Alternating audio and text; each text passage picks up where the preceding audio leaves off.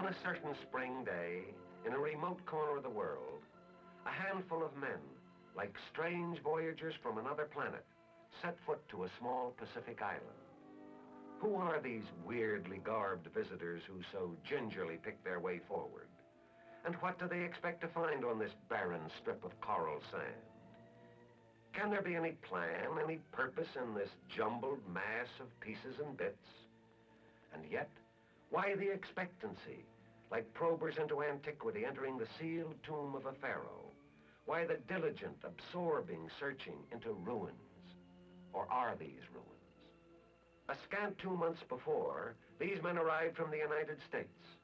Then they were even as you and I. And only three months before that, this island was just a spot on a map, known only to the captains of battered tramp steamers.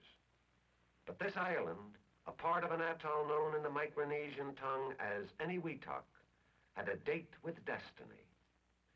7,500 miles away, the planners met and began to mesh the gears which are to change the face of the island. And so it is that tropical Eniwetok comes to know the mechanical prowess of men who have changed many a similar island during the late Pacific War. For this was virgin land, and as always, since man first entered a wilderness, tangled and matted vegetation must be removed for working space, for elbow room. The surface is then rearranged into new patterns as machines first dig up, then level the coral soil. But simple flattening alone is not enough. Cement and tar are added to form a hard, level surface. Islands of our atoll now begin to assume the character of gigantic tabletops, bowing to the engineer's exacting transit. But there is more to come. Underwater obstacles are blasted. A causeway is built to link two islands. And mushrooming across the face of the atoll, a tent city for living quarters, Quonset huts for supplies. So the islands take the shape, the form of their planners. A native of this sun-baked area of the world would be amazed and bewildered at these strange doings. To an American, most of these things would seem routine. But there are some things not even he could explain. For what purpose these low cubes constructed of reinforced concrete? Concrete oddly mixed with nuts and bolts. Why this tower in the middle of the lagoon? For what reason this underground cable? But most of all, why this steel giant dominant on the landscape? It is clear that this is not an ordinary island.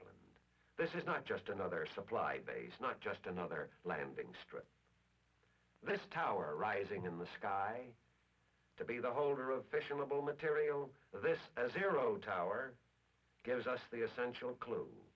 This is an atomic island, a test island, a gigantic laboratory island.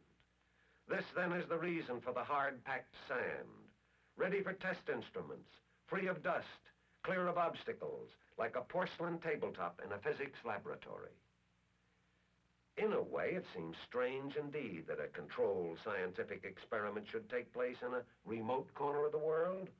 Why not the laboratories of the Atomic Energy Commission, or the laboratories of our colleges and universities, or even the New Mexico desert?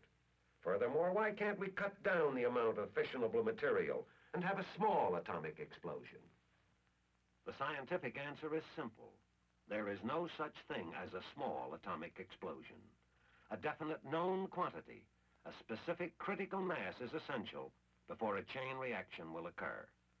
All the laboratories and production plants of the Atomic Energy Commission contribute to the development of atomic energy and the manufacture of fissionable materials.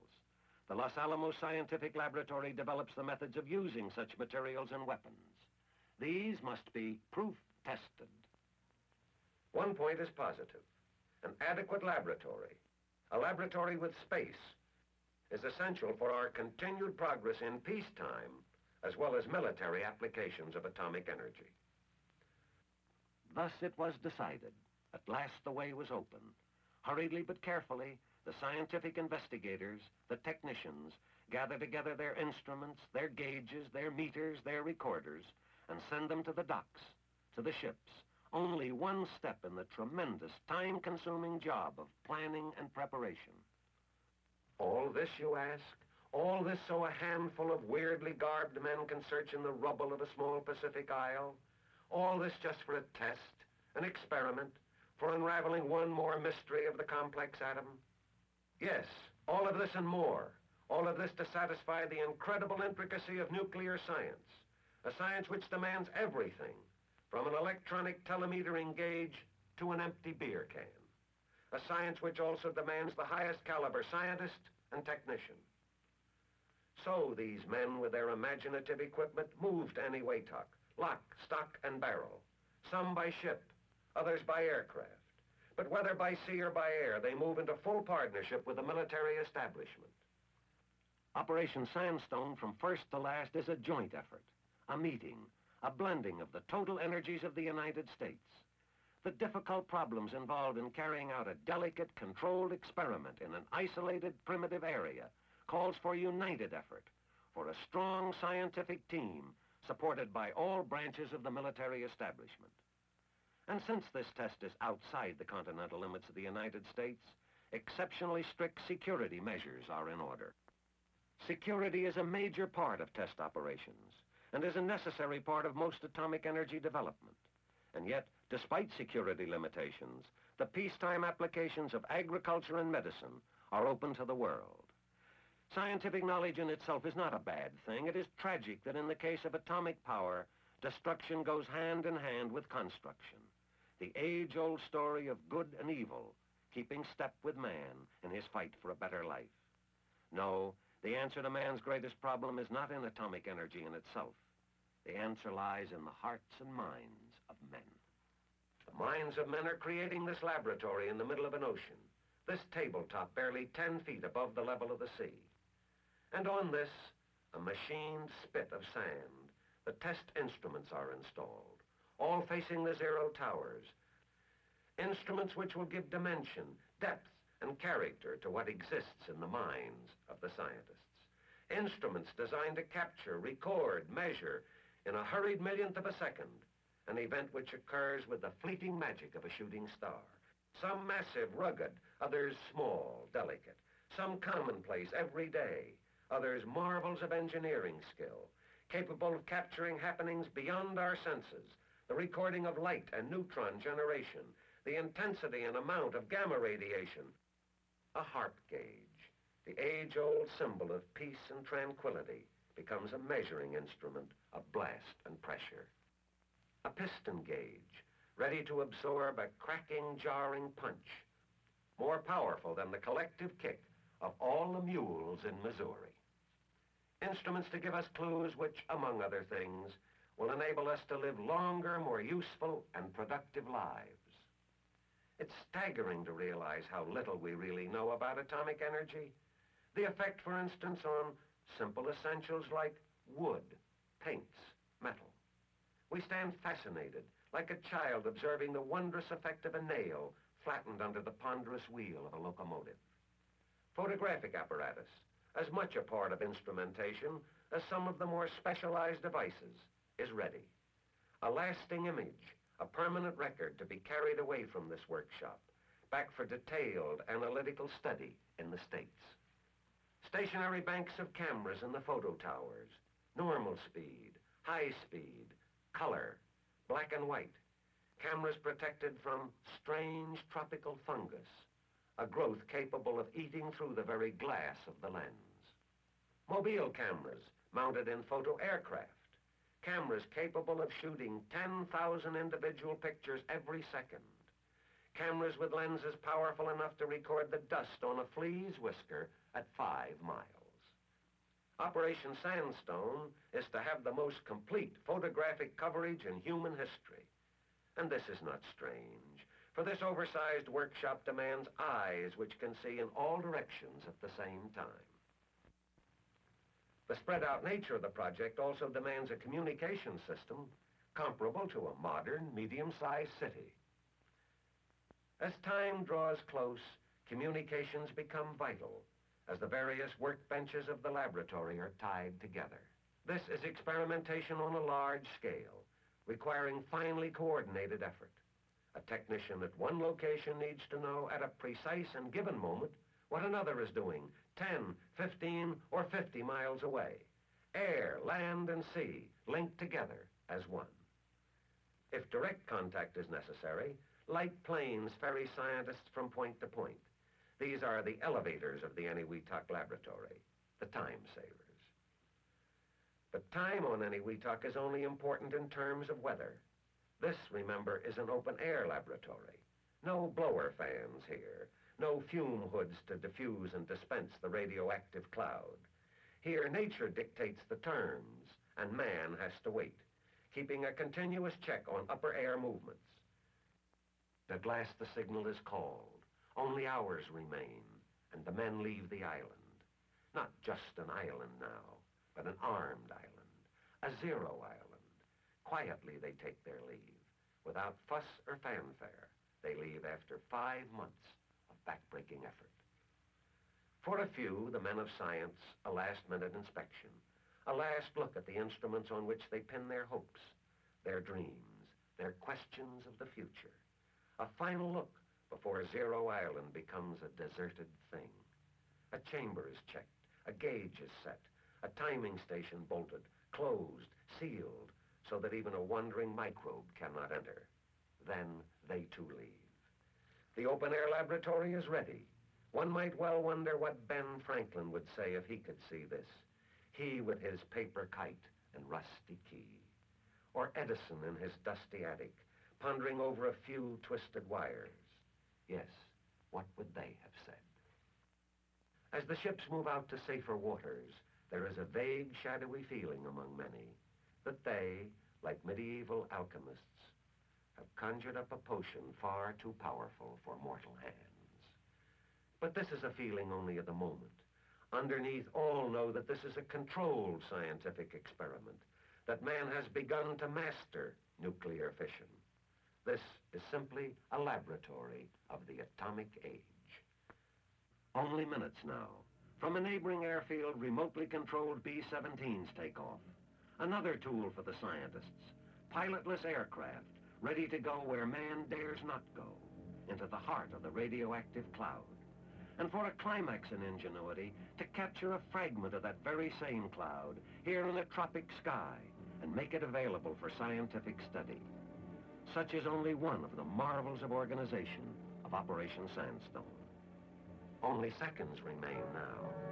From the master control station on another island, switches are thrown. Sequence timers activated. Hundreds of measuring devices all over the atoll placed on a single time reference. And now, the 10,000 men who have created this laboratory out of nothing watch it being destroyed. They have to look watch. The chain reaction of atoms building up into powerful exploding energy is still something which grips the imagination, something which cannot be ignored. The sun of early morning highlights the atomic cloud as it drifts away from any Eniwetok. But the strange and mysterious ingredients in this cloud will not be lost. They have been captured and returned now to Earth, carried by the crewless but obedient drones. These flying guinea pigs are hot, radioactive. Technicians handle the collection equipment with instruments suggesting the sterile remoteness of medical forceps. Just as remote as the electronically controlled tank, which digs out soil samples under the direction of a helicopter. Man approaches his test island with caution. So this is how it came to be that on a certain spring morning in 1948, a handful of men dressed in impregnable clothing carefully poked through the rubble of an atom-blasted island. Men who search through ruins which hold something more than destruction. For hidden in the debris, cunningly protected, are records which will enable scientists of the Atomic Energy Commission to piece together the real story behind Operation Sandstone. And now the work really begins. The long, laborious task of assembling data, of making sure every scrap and tatter of evidence is sent to the laboratory ships or ferried back to the States.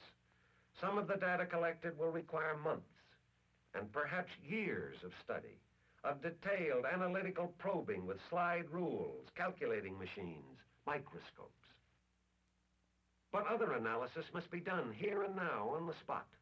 Some of the results of nuclear fission have the characteristics of an open bottle of soda water, quickly dissipating into nothing. The results of Operation Sandstone, the produced tables, equations, charts, graphs, records, all of this compiled data will further point the way, will speed the development of atomic energy. But such knowledge comes not from paper and pencil alone. It comes out of controlled experimentation, out of deliberately creating a few microseconds of atomic light and sound. So it has been from the beginning.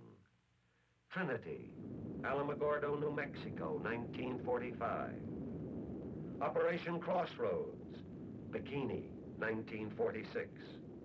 Able Day, Baker Day, Operation Sandstone, three detonations. These were fabricated releases of power, of energy locked up within the atom from the beginning of time, detonations rivaling the light and energy of the sun. The sun, to us the difference between life and death. It burns, stifles, dehydrates. But who would deny its warmth, its light, its beneficial radiation? So can it be with the energy man has created.